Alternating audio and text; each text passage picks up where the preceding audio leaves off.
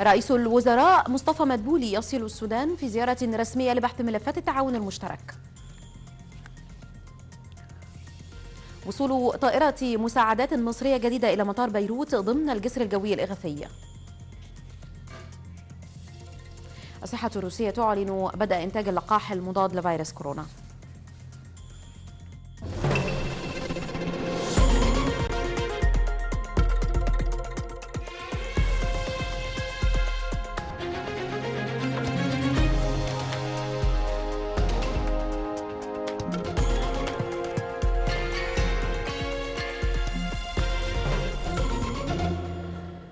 منتصف اليوم في القاهرة. نشرة أخبار الظهيرة من النيل. نرحب بحضراتكم. يصحبنا في لغة الإشارة هلا محفوظ. وصل رئيس الوزراء مصطفى مدبولي والوفد الوزاري المرافق له السودان في زيارة رسمية حيث كان استقباله في استقباله رئيس الوزراء السوداني عبد الله حمدوك. ومن المقرر أن يعقد الجانبان المصري والسوداني برئاسة رئيسي وزراء البلدين جلسة مشاورات موسعة تتناول أوجه التعاون بين البلدين في مختلف المجالات وكذا ملف سد النهضة. كما سيلتقي مدبولي خلال الزيارة قيادات مجلس السيادة السودانية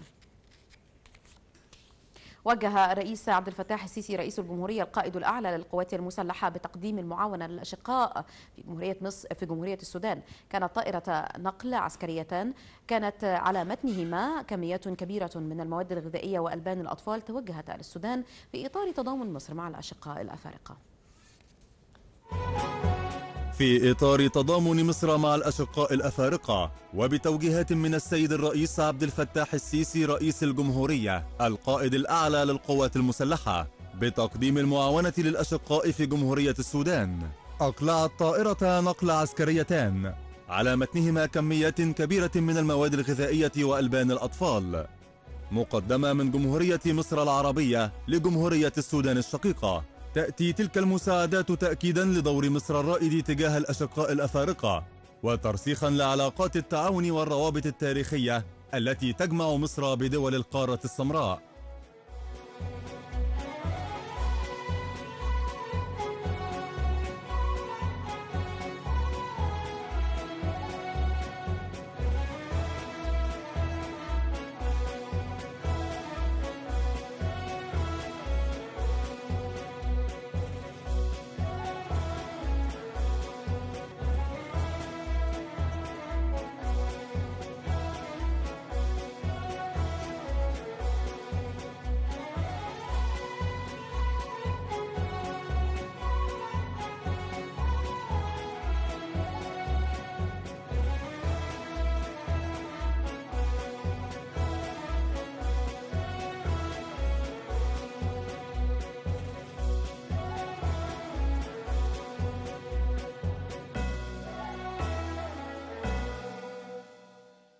من جانبه قدم الجانب السوداني الشكر والتقدير للقيادة المصرية التي دائما ما تقف إلى جوار دول العالم فيما تمر به من كوارث وأزمات. طبعا كل الدعم والتقدير للحكومة المصرية والشعب المصري على هذا التعاون في الفترة الحرجة اللي قاعد يمر بها العالم وده امتداد لعلاقات تاريخية راسخة ومتميزة. نتمنى إنها هي تتواصل بالعلاقة بين الشعبين وبين البلدين وبين الحكومتين للوصول لمرحلة تكامل وتعاون كامل. بنرحب بالطائرتين المصريتين وبنشكر الحكومة المصرية عليهم وبننظر لده في إطار علاقات الأخوة المستمرة والممتدة بين البلدين. شكرا للشعب المصري ونحن معكم كما أنتم معنا وشكرا جزيلا. حقيقة اليوم استقبلنا الجسر الجوي الثاني من الإخوة في جمهورية مصر العربية الذين ظلوا يمدوا اللجنة العليا للطوارئ الصحية في الخرطوم بكل المعينات المطلوبة ولم يتوانوا يوما. وده بيمثل امتداد طبيعي وتاريخي للعلاقة الممتدة المتجذرة بين السودان ومصر. وما حصل يعني طلبنا أي طلب ما كان جاء اليوم الثاني. فلهم الشكر ولهم التحية والتحية لحكومة مصر وشعب مصر على هذه الوقفة معنا في هذه الجائحة. انتهز هذه الفرصة لاحيي حكومة مصر آه، لما قدمته للعالقين المصريين السودانيين اللي كانوا موجودين بمصر. حقيقة كانت معاناة كبيرة ووجدنا منهم كل دعم وكل تعاون حتى تكلل عملية عودة آخر عالق آه، بالنجاح. آه، لكم الشكر جزيلا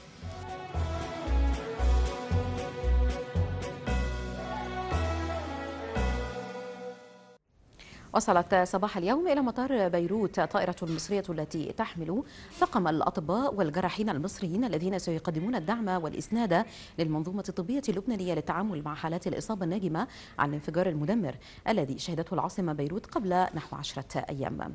هذه الطائرة هي طائرة ضمن 12 طائرة مصرية محملة ب 220 طنا من المساعدات الغذائية ستصل إلى بيروت على مدى أسبوعين في إطار الجسر الجوي الإغاثي المصري لدعم الشعب اللبناني الشقيق ومساندته في سبيل تجاوز محنة الانفجار المدمر الذي وقع بميناء بيروت البحري.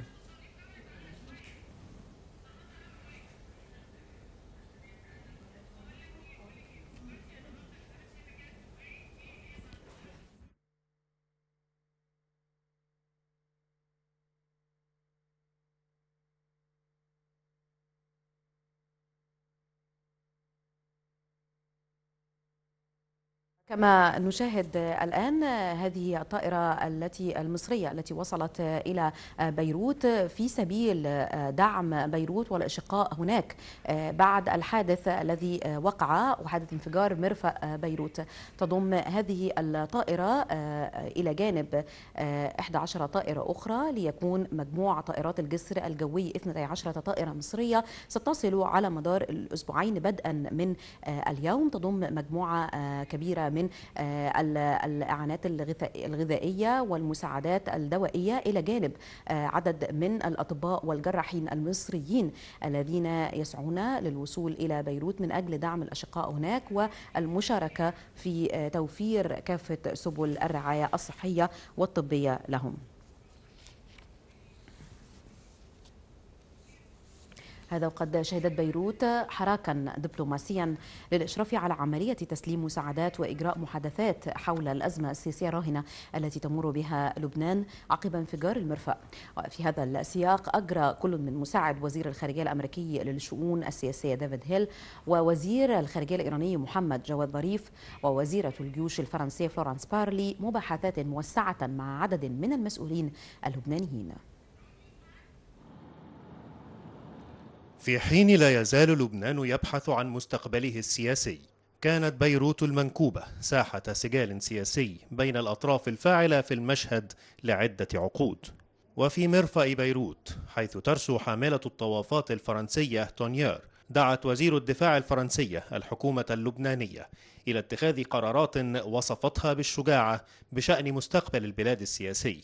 كما دعت بارلي بعد لقائها الرئيس ميشيل عون إلى الإسراع بتشكيل حكومة تتولى مهامها لفترة محددة لإجراء إصلاحات عميقة بشكل فعال. وتأتي هذه الدعوة بعد أسبوع من دعوة الرئيس الفرنسي مانويل ماكرون إلى ميثاق سياسي جديد. دعوة وزيرة الدفاع الفرنسية توافقت مع دعوات أمريكية حملها مساعد وزير الخارجية الأمريكي للشؤون السياسية ديفيد هيل إلى المسؤولين اللبنانيين والتي أكدت على استعداد واشنطن دعم حكومة لبنانية تعكس إرادة الشعب وتستجيب لها وتلتزم وتعمل بصدق من أجل تغيير حقيقي. لكن إيران المنافسة التقليدية للغرب والولايات المتحدة كانت لها موقف مغاير.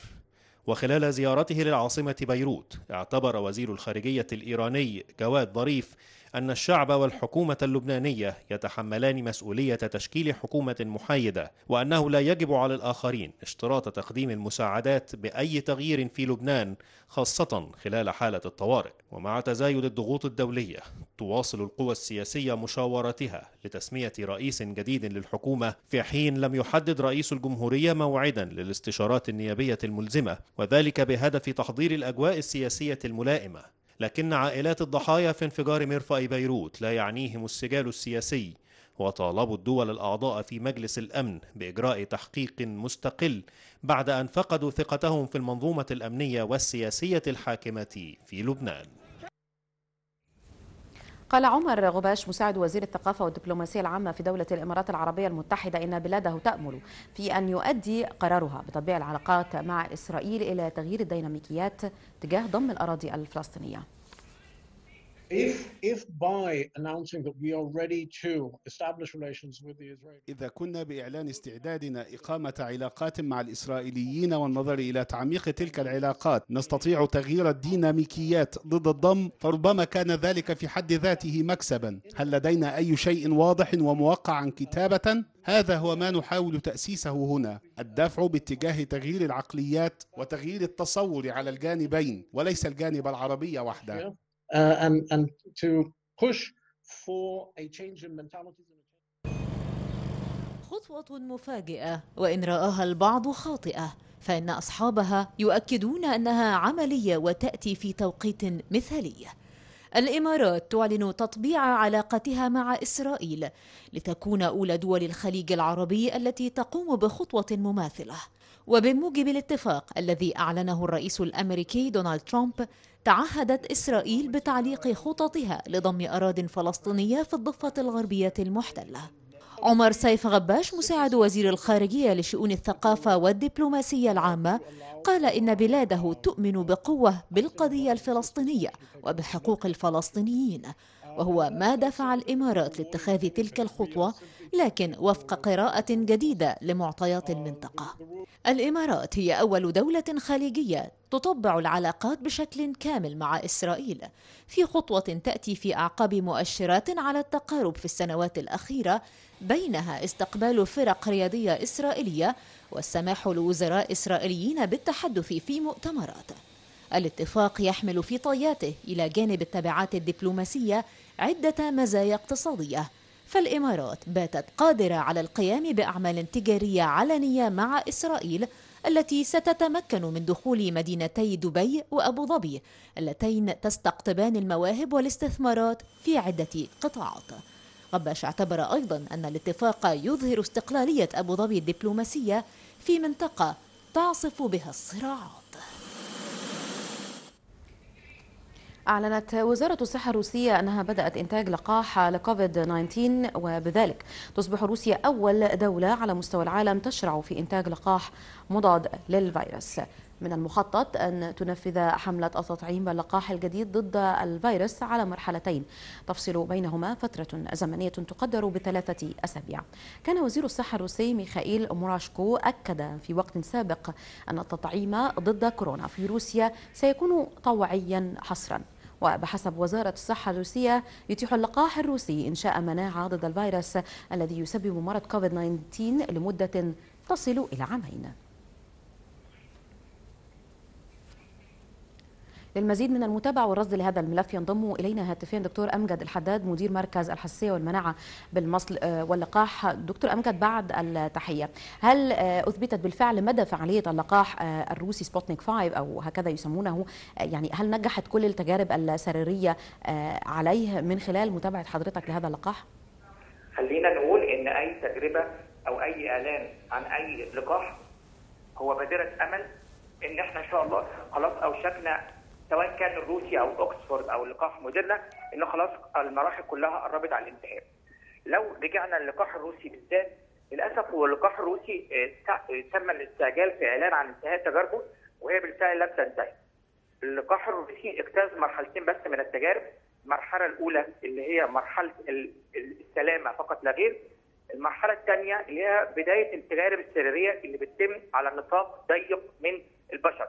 وبالفعل تم تجربته على بعض العسكريين وبعض الباحثين وهو قال إن هو جربه على بنته هذا النطاق الضيق من التجربة اللي في المرحلة الثانية لا يكفي أن نقول أن هذا اللقاح الآن آمن وفعال لأن هناك ما يسمى بالمرحلة الثالثة نعم. المرحلة الثالثة دي بيتم توسيع التجارب السريرية على آلاف من البشر من أجناس مختلفة من أعمار مختلفة م.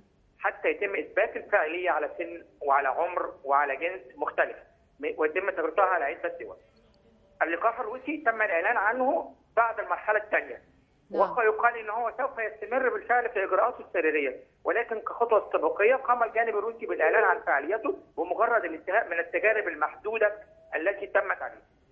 نعم و... و... وللأسف إن الجانب الروسي من... بيتعامل مع اللقاحات أو الأدوية مثل مثل الاسرار العسكرية.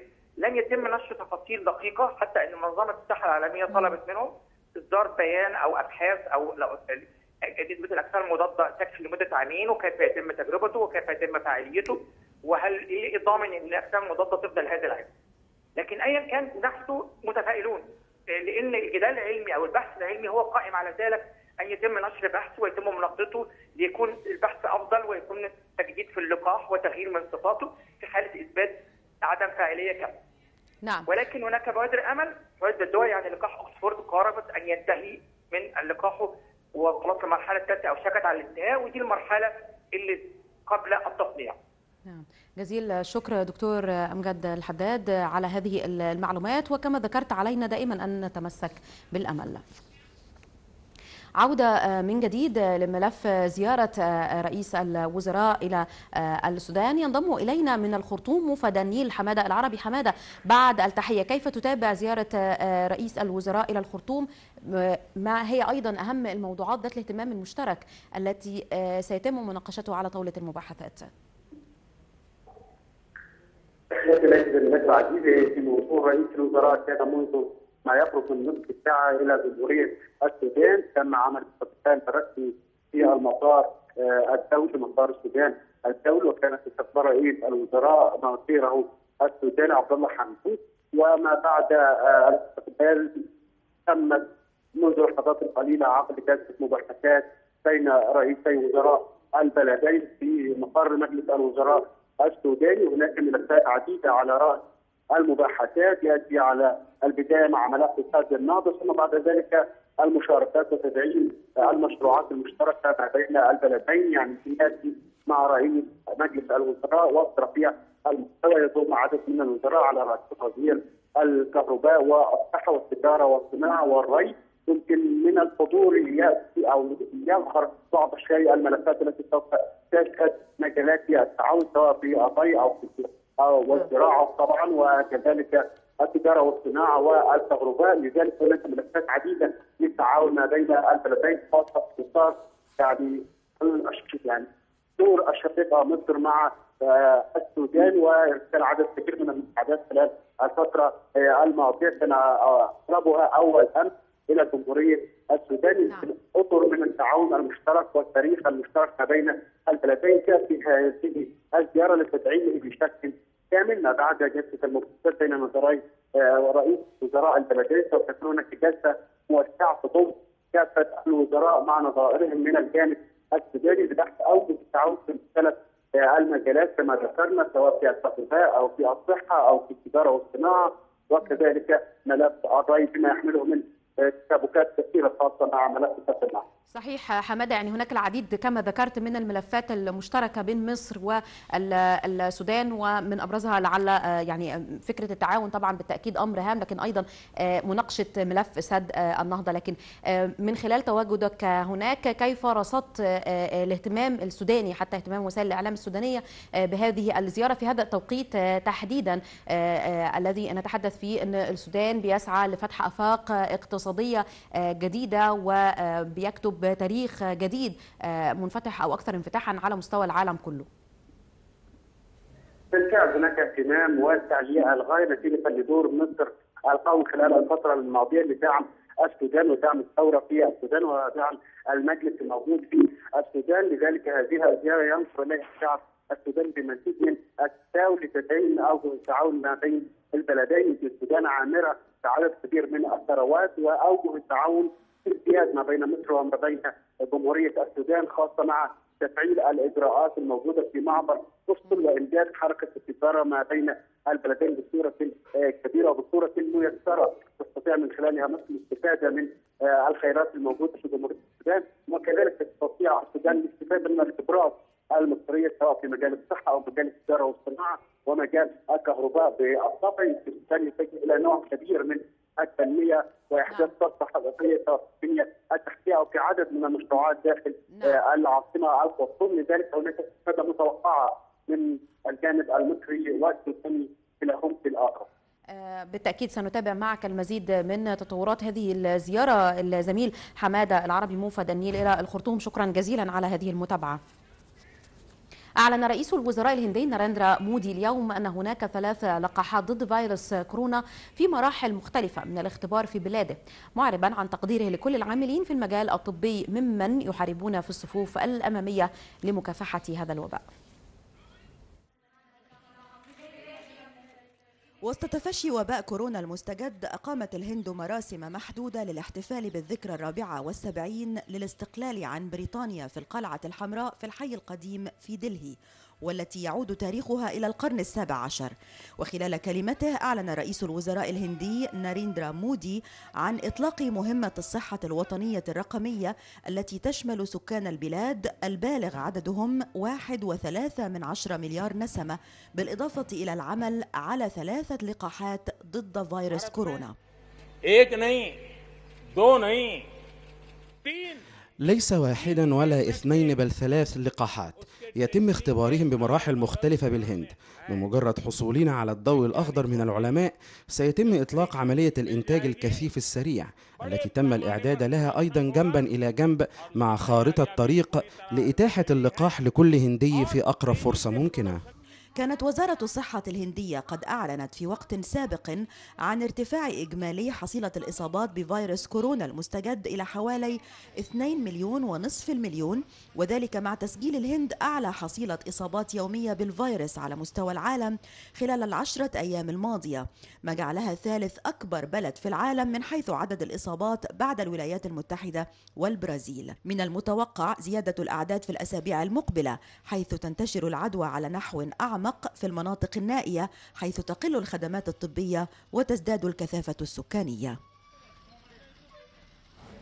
نعود معكم مشاهدينا الكرام وما نتابعه من وصول لطائرة المساعدات المصرية إلى بيروت دعما من مصر للأشقاء في لبنان. ينضم إلينا هاتفيا السيد أشرف أبو الهول الكاتب الصحفي بالأهرام. سيد أشرف بعد التحية يعني وصول جسر جوي لدعم وإغاثة لبنان في هذا المصاب الكبير من جانب مصر وحرص مصر على الوقوف إلى جانب بيروت بكافة السبل. يعني كلنا كنا تابعنا يعني ما تحدث عنه رئيس الوزراء وما تحدثت عنه القيادة المصرية بشكل مباشر في ضرورة دعم لبنان.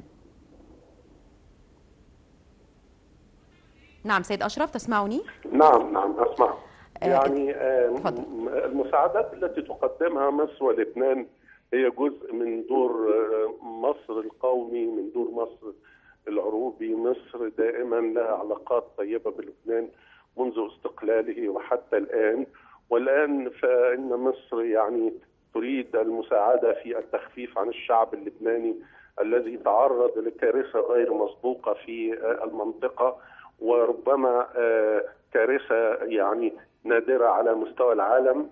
مصر يعني المساعدات لن تتوقف عن الطائرة التي أرسلت اليوم ولكن العديد من الطائرات التي تحمل المساعدات المصرية وصلت إلى لبنان خلال الأيام القليلة الماضية خلال العشرة أيام الماضية منذ حدوث الكارثة في الرابع من أغسطس الحالي.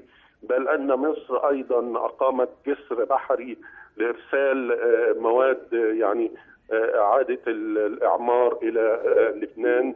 وهناك المستشفى الميداني المصري الذي فتح أبوابه منذ اللحظة الأولى. وكما قلت هذا يعني جزء من دور مصر القومي وثقلها الإقليمي. ويعني شيء يؤكد مدى عمق العلاقات بين الشعبين المصري واللبناني وتعامل مصر مع أطياف كافة أطياف لبنان على قدم المساواة من أجل مصلحة الدولة اللبنانية والعلاقات الثنائية سيد أشرف يعني من الملاحظ دائما أن مصر يعني حتى وهي تقوم بتقديم الدعم بيكون هناك نوع من أنواع التكامل في الدعم وده بيكشف الرؤية الواضحة. يعني تعلم الاحتياجات الكاملة التي تحتاج بيروت إليها على الصعيد الطبي على الصعيد الغذائي وأيضا على صعيد إعادة الإعمار. يعني مصر تحدثت في هذا الأمر وأنها مستعدة بدعم ملف إعادة الإعمار في بيروت على كافة القطاعات كهرباء. وطاقة وغيرها. إلى أي مدى هذا التكامل للاستراتيجية والرؤية المصرية في تقديم الدعم؟ يمكن أن يعني يدعم لبنان من جانب وأيضا يؤصل للعلاقات المصرية العربية من جانب آخر. أولا يعني طريقة تقديم مصر للدعم طريقة يعني علمية يعني تنبع من الاحتياجات الحقيقية للشعب اللبناني. لا ترسل مساعدات لكي توضع في المخازن وإنما ترسل مساعدات لتستخدم بشكل فوري. اللبنانيون في حاجة إلى يعني كل ما يتعلق بالعمليات الجراحية والأدوية والمساعدات التي تدخل في إطار مساعدة ستة آلاف مصاب على الأقل سقطوا في هذه يعني هذه الكارثة. مستشفيات لبنان وخاصة مستشفيات بيروت نصفها خرج من الخدمة وبالتالي أصبح هناك ضرورة ل يعني معدات إجراء العمليات الجراحية وغيرها سواء بتزويد المستشفيات اللبنانية بها أو بإرسالها إلى المستشفى الميداني اللبناني والمصري في لبنان وهو ما فعلته مصر. الأغذية يعني التي أحتاجتها لبنان خاصة وأنه الانفجار أدى إلى تدمير صوامع القمح ومخازن الأغذية في مرفأ بيروت. أيضا يعني الاحتياجات الخاصة بإعادة البناء بإزالة يعني الأنقاض كل هذا درست مصر احتياجات لبنان وحاولت أن نعم. تلبيها وهذا يؤكد أنه يعني مدى التحام المصريين بالشعب اللبناني ومعرفتهم باحتياجاتهم الحقيقية في مثل هذه الظروف المأساوية. طيب سيد أشرف بالعودة إلى المشهد اللبناني نفسه وتطورات الأوضاع هناك وملف المساعدات المقدم إلى بيروت من مختلف دول العالم وحالة التضامن الدولي. يأتي هذا الأمر في ظل تصريحات من الداخل اللبناني يعني من الخارج اللبناني في البداية يتحدثون عن ضرورة وجود حكومة تستجيب لمتطلبات الشارع اللبناني. من الخارج اللبناني يرفضون أي إملاءات خارجية. كيف تقيم الأمر؟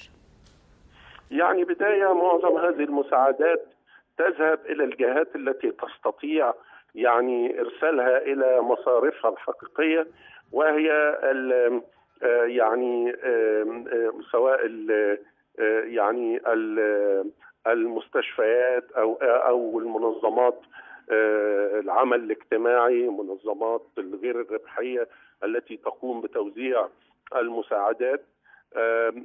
ثانيا يعني بالفعل هناك إشكاليات كبيرة يعني كانت ستواجه العالم لولا يعني حدوث تنسيق وتدخل لمعرفة من يستحق لأنه نحن نعلم أن لبنان بها مشاكل طائفية ومشاكل سياسية وبالتالي كان من الممكن لولا التنسيق والاستعداد المبكر.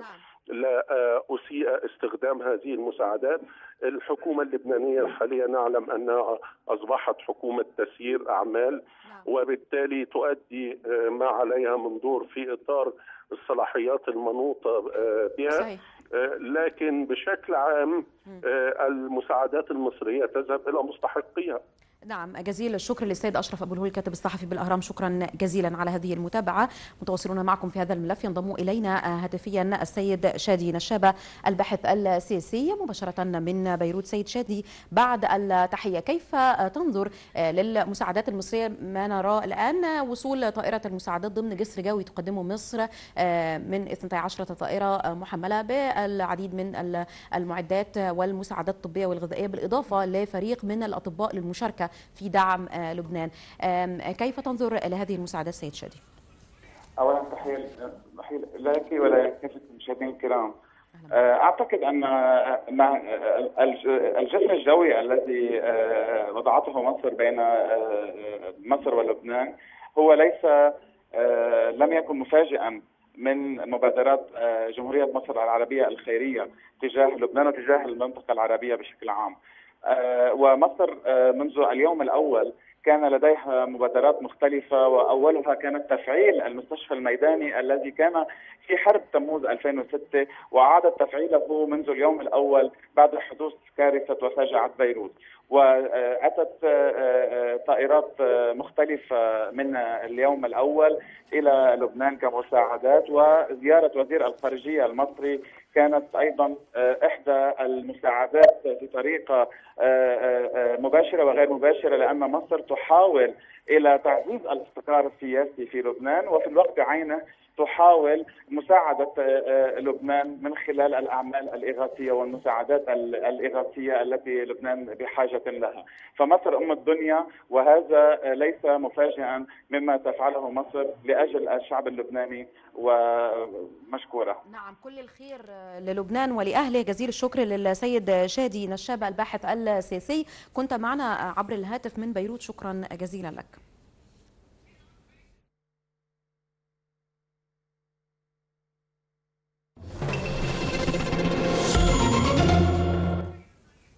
أكد محافظ القاهرة خالد عبد العال انهيار عقار شارع قصر النيل المكون من طابق أرضي وأربع طوابق وتم فصل كافة المرافق عنه.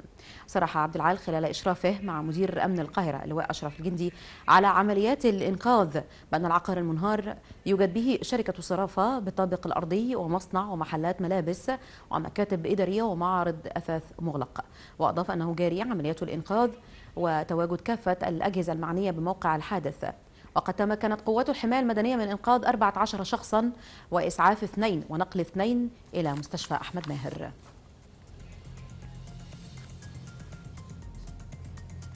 نشرتنا الإخبارية متواصلة مع حضراتكم. نتابع فيها بعض أخبار الاقتصاد. الولايات المتحدة تنتقد الدول التي عرقلت قرار تمديد حظر الأسلحة على إيران وطهران ترحب بقرار مجلس الأمن وتعتبره دليل على عزلة واشنطن. متواصلين مع حضراتكم مشاهدينا الكرام. نتحول الآن لمتابعة لاهم واخر أخبار المال والأعمال. أخبار الاقتصاد بصحبة الزميل حسام الدين. عاطف إليك حسام. أشكرك كريمه شكرا جزيلا. أهلا بكم مشاهدينا الكرام إلى باقتنا الاقتصاديه أهم ما فيها.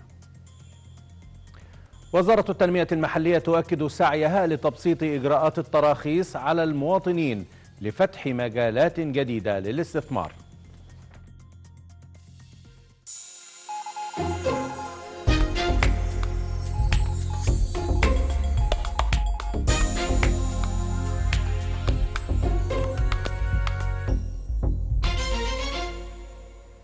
أهلا بكم من جديد.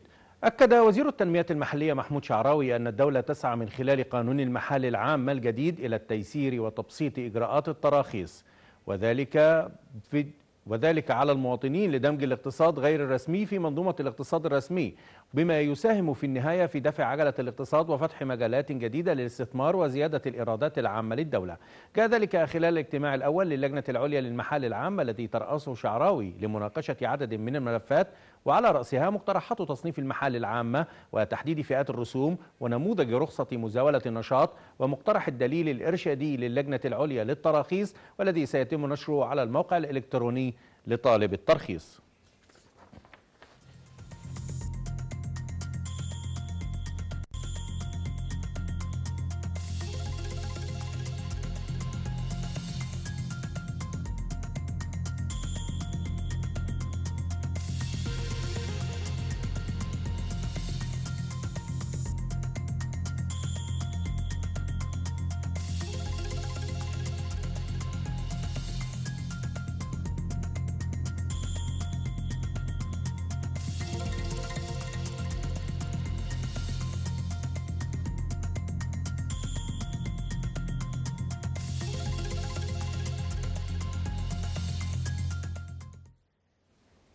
أعلن وزير المالية محمد معيط أنه تم تخصيص 12.7 مليار جنيه في العام المالي الحالي لمشروعات التحول التدريجي إلى مصر الرقمية بما يتسق مع التوجهات الرئاسية الرامية لتعزيز الحوكمة ما يساعده على ميكنة الخدمات العامة.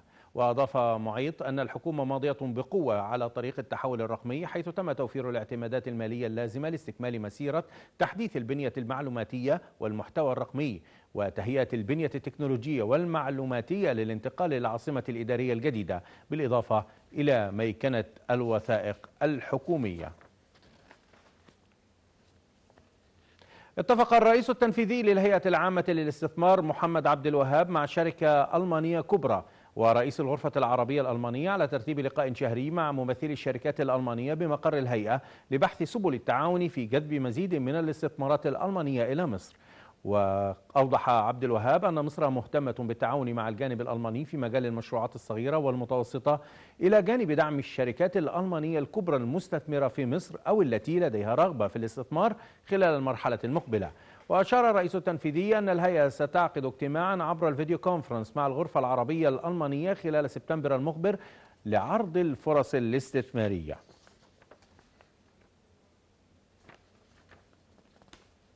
تراجعت أسعار الذهب في السوق المحلية متأثرة بانخفاضها في الأسواق العالمية. وانخفضت أسعار الذهب في الأسواق المحلية بنحو السبعة جنيهات ليسجل عيار 18 نحو 737 جنيها و12 قرشا. وعيار 21 نحو 860 جنيها في حين سجل عيار 24 سجل نحو 982 جنيها 82 قرشا. هذا في حين وصل سعر الجنيه الذهب إلى 6880 جنيها. وعلى صعيد أسواق المعادن النفيسية العالمي تراجع الذهب متجها لأسوأ أداء أسبوعي له منذ مارس إذا انحصر الإقبال على المعدن النفيس نتيجة قفزة في عوائد سندات الخزانة الأمريكية وتعثر حزمة تمويل أمريكية لدعم الاقتصاد المتضرر من كوفيد 19 وهبط الذهب في المعاملات الفورية بنصف المئة ليصل إلى 1943 دولارا 18 سنتا للأوقية. وفقد المعدن النفيس 4.5% في هذا الأسبوع بعد بلوغ ذروة غير مسبوقة عند 2072 دولارا ونصف الدولار في السابع من أغسطس. كما انخفضت الفضة بنسبة 4.9% لتصل إلى 26 دولار 24 سنتا للأوقية.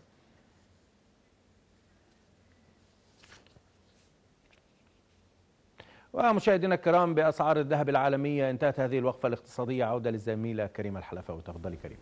شكرا لك حسام على هذه القراءة في أخبار الاقتصاد. نستكمل مع حضراتكم مشاهدينا الكرام أخبارنا السياسية. حيث أعلنت مندوبة الولايات المتحدة الأمريكية في مجلس الأمن أن واشنطن ستعمل على إعادة تفعيل كل العقوبات الدولية المفروضة على إيران خلال الأيام المقبلة. في هذا السياق أقدمت واشنطن على مصادرة أربع شحنات وقود إيرانية كانت في طريقها لفنزويلا تبلغ حوالي مليون ومائة وستة عشر ألف برميل من المنتجات البترولية ما يجعله أكبر عملية مصادرة أمريكية لوقود إيراني على الإطلاق. كان مجلس الأمن الدولي قد رفض مشروع قرار تقدمت به واشنطن لتمديد حظر السلاح المفروض على إيران وهو الأمر الذي رحبت به طهران واعتبرته دليل على أن واشنطن باتت تشهد نوع من العزلة داخل المجلس. أعلن رئيس بيلاروسيا ألكسندر لوكاشينكو أن التحكم الخارجي في حركة المظاهرات الرافضة لنتائج الانتخابات الرئاسية أصبح واضحا. في الوقت الذي دعا فيه الأمين العام للأمم المتحدة أنطونيو غوتيريش الشعب البيلاروسي إلى حل المشاكل التي ظهرت بعد الانتخابات الرئاسية. من خلال الحوار بهدف الحفاظ على السلام في البلاد. الأوضاع في بيلاروسيا على صفيح ساخن منذ إعلان فوز الرئيس ألكسندر لوكاشينكو بولاية سادسة حيث لا تزال المظاهرات الغاضبة تجوب الشوارع في العاصمة مينسك والعديد من المدن الأخرى. الرئيس لوكاشينكو نفى ما تردد من أنباء بشأن وجوده خارج البلاد مشيرا إلى أن الاحتجاجات ستؤثر بشكل سلبي على العمل المستقبلي للمؤسسات. كما أكد لوكاشينكو أن التحكم الخارجي في حركة المظاهرات الرافضة لنتائج الانتخابات الرئاسية أصبح واضحا. التحكم الخارجي في حركة الشوارع أصبح واضحا الآن. يجب أن تفهموا جيدا أنكم وأطفالكم تستخدمون مثل القذائف المدفعية في يد الأعداء. هناك أناس ينتمون إلى حزب سياسي معارض. وصلوا بالفعل إلى بلدنا من بولندا وهولندا وأوكرانيا وروسيا ومن هم على شاكلتهم؟ العنف في بلدنا قد بدأ بالفعل. من جانبه دعا الأمين العام للأمم المتحدة أنطونيو غوتيريش الشعب البيلاروسي إلى حل المشكلات التي ظهرت بعد الانتخابات الرئاسية من خلال الحوار من أجل الحفاظ على السلام في البلاد مشددا على أهمية إتاحة الفرصة لجميع البيلاروسيين لممارسة حقوقهم المدنية والسياسية كما طالبت الأمم المتحدة السلطات في بيلاروسيا بضبط النفس خلال الرد على المظاهرات فضلا عن إجراء تحقيق شامل في المزاعم التي تشير إلى حدوث عمليات تعذيب وغيرها من أنواع المعاملة السيئة للأشخاص المحتجزين. تعهد رئيس الوزراء الياباني شينزو أبي اليوم بعدم تكرار مأساة الحرب مرة أخرى كما أشاد بذكرى المحاربين اليابانيين الذين لقوا حتفهم خلال الحرب العالمية الثانية. جاء ذلك خلال مراسم إحياء الذكرى السنوية الخامسة والسبعين لاستسلام بلاده في الحرب العالمية الثانية. كما زار عدد من الوزراء اليابانيون موقع ياسوكوني المثير للجدل حيث تعتبره طوكيو رمزا وطنيا بينما ترى فيه عدد من الدول الأسيوية رمزا للماضي العسكري الياباني.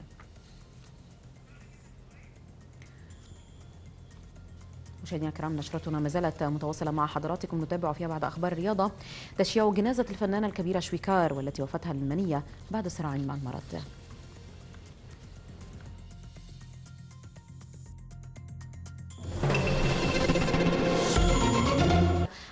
نتحول الآن إلى منطقة وسط البلد تحديدا شارع قصر النيل حيث نؤكد على إذاعة هذا الخبر حيث أكد محافظ القاهرة خالد عبد العال انهيار عقار بشارع قصر النيل مكون من طابق أرضي وأربع طوابق تم فصل كافة المرافق عنه. تحدث أيضا عبد العال خلال إشرافه مع مدير أمن القاهرة اللواء أشرف الجندي أن عمليات الإنقاذ في العقار المنهار متواجدة بشكل كبير. أن العقار المنهار يوجد به شركة صرافة بالطابق الأرضي ومصنع ومحلات ملابس ومكاتب إدارية ومعرض أثاث مغلق. أضاف أنه جاري عمليات الإنقاذ وتتواجد كافة الأجهزة المعنية بموقع الحادث. معنا زميلنا أشرف مبارك من موقع الحدث. أشرف بعد التحية. صف لنا تطورات الوضع لديك سير عملية الإنقاذ والإسعاف لديك. بالفعل كريمة نتواجد الآن في موقع حادث انهيار العقار الجزئي في شارع قصر النيل بمنطقة وسط البلد. يعني تتواجد كافة الأجهزة التنفيذية مدير الأمن ومحافظ القاهرة الذين قاموا بمعاينة هذا العقار المنهار. هناك نحو 14 حالة تم نقلها إلى مستشفى أو أو يعني تم إنقاذها من هذا العقار. بالإضافة أيضا إلى أنه تم معالجة تم علاج حالتين في موقع الانهيار العقار وتم نقل حالتين إلى مستشفى أحمد ماهر التعليمي. هناك أيضا تتواجد العديد من سيارات سيارات الحماية المدنية التي تتمركز بالقرب من موقع انهيار هذا العقار بالإضافة أيضا إلى بعض السيارات التابعة لهيئة الإسعاف المصريه، اذا هناك متابعة مستمرة من كافة الأجهزة التنفيذية بمحافظة القاهرة ل يعني انهيار هذا العقار، هذا العقار أيضا يعني مكون من من طابق أرضي وأربعة أدوار متكررة وهو على مساحة 1500 متر ومكون من يعني بعض الوحدات الإدارية بالإضافة أيضا إلى شقتين سكنيتين، الحديث أكثر حول تفاصيل عملية الانهيار وحدوث يعني انهيار لهذا العقار. معي على الهواء مباشرة سيادة اللواء ياسر عبد العزيز وهو رئيس حي عابدين. سيادة اللواء برحب بحضرتك. عايز أعرف إيه تفاصيل انهيار هذا العقار وإيه الإجراءات اللي أخذتوها منذ وقوع هذا الحادث؟ هو أنا بصراحة بمجرد النهارده انهيار العقار في حوالي الساعة 10 وربع أنا كنت في مرور ميداني في نطاق الحي بالكامل. كنت لسه ماشي من نفس الشارع ده بعد خمس دقائق بالظبط على الجهاز. تم الندى بأن في انهيار عقار في 50 شارع قصر النيل. بلغت العمليات المركزية في المحافظة في خلال خمس دقائق كان تواجد معالي اللواء الوزير خالد عبد العال والقيادات التنفيذية بالمحافظة جم هنا في مقر في مكان انهيار هذا العقار.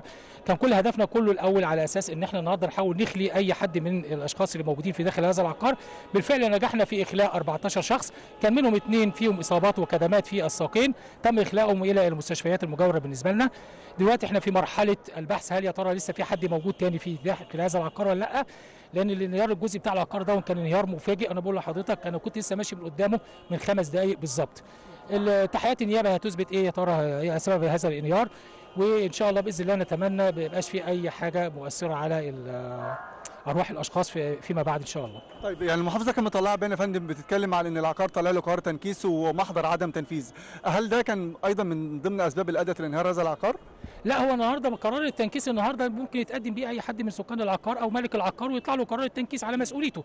هو اللي بينفذ. إحنا متابعتنا ليه إن هو نفذ ولا ما نفذش؟ فعلا طلع له محضر عدم تنفيذ. ولكن إن النهارده العقار ده يعتبر من القرار من العقارات ذات الطرازات أو ذات القيمة المتميزة. مسجل عندنا طراز معماري تبع جهاز التنسيق الحضاري. النهارده أي تعامل معاه لابد من خلال جهاز التنسيق الحضاري طبعا عشان خاطر المنطقة اللي إحنا موجودين فيها دي منطقة قصر النيل. معظم العقارات اللي فيها أو بمعنى أصح القاهرة الخديوية معظمها النهارده أي تعامل معاها بيكون من خلال موافقة جهاز التنسيق الحضاري. طيب هل في إجراءات مثلا هتتاخد يعني النيابه يعني وصلت لمعاينة يعني واقع أو حادث وقوع هذا العقار؟ هو طبعا أنت حضرتك دلوقتي النهارده لسه ما زال النيابة طبعا في تحقيقاتها إحنا مش هنتدخل في اعمالها هي اللي تقول القرار إيه والأسباب إيه بتاع هذا الانهيار هذا العقار وإحنا في الانتظار طبعا ونشوف إيه الإجراء اللي هيتم بعد كده بالنسبة لهذا العقار. كل هدفنا دلوقتي نتأكد إن ما فيش أي حد موجود من الأشخاص داخل هذا العقار تاني لغاية دلوقتي يعني. ما فيش أي وفيات يا فندم موجود؟ الحمد لله ما فيش أي وفيات الحمد لله رب العالمين. طيب أخيرا يتم التعامل مع هذا العقار آه، إزاي بعد يعني انتهاء من آه، يعني الأعمال بتاعة البحث عن لو إذا كان في وفيات أو النيابة تنتهي من التحقيقات؟ هل العقار ده يتم هدمه بقى بالكامل؟ لأن أنا شايف إن العقار يعني جزء منه اللي, مهد... اللي تم هدمه أو سقوطه فقط. للتحيات والقرار النيابة هنبدأ نتصرف ونت- ونتعامل مع هذا العقار. تمام. بشكر حضرتك جدا سيادة اللواء ياسر عبد العزيز رئيس حي عابدين يعني كريمة كما نرى في الخلفية هذا العقار الذي يظهر في الخلفية هو يعني تم يعني انهيار جزء منه يعني الدور الأخير أو الدوران ال- الأخيرين في هذا العقار ولكن باقي العقار ما زال قائم حتى الآن. ويعني نحن الآن في انتظار تحقيقات النيابة أو معاينة فريق النيابة الذي قد يصل خلال دقائق لمعاينة هذا الانهيار. ومن ثم يعني إصدار تقرير بشأن يعني هذا العقار وأيضا آلية التعامل مع هذا العقار خلال الفترة المقبلة خاصة وأنه مسجل ك يعني طراز أو طراز فريد أو طراز عقاري فريد يتم التعامل معه من خلال جهاز التنسيق الحضاري. نعم جزيل الشكر لزميلنا منفذ النيل أشرف مبارك. شكرا جزيلا على هذه المتابعة المباشرة من موقع انهيار العقار في شارع قصر النيل. آه، شكرا جزيلا لك. يشيع اليوم عقب صلاة الظهر جثمان الفنانة الكبيرة شويكار والتي وفتها المنية أمس الجمعة وذلك بعد صراع مع المرض تاركة إرثا كبيرا خلد اسمها في تاريخ عظماء الفن العربي.